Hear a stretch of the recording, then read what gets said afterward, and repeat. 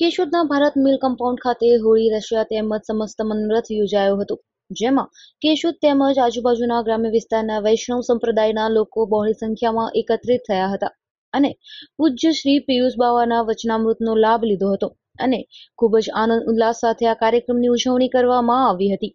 અંદાજિત ત્રણ વર્ષ પહેલા આ સમસ્ત વૈષ્ણવ સંપ્રદાયનો મનોરથ યોજાયેલ, પરંતુ કોરોના સમયને ધ્યાને લઈ આ કાર્યક્રમ યોજવામાં આવ ન હતો.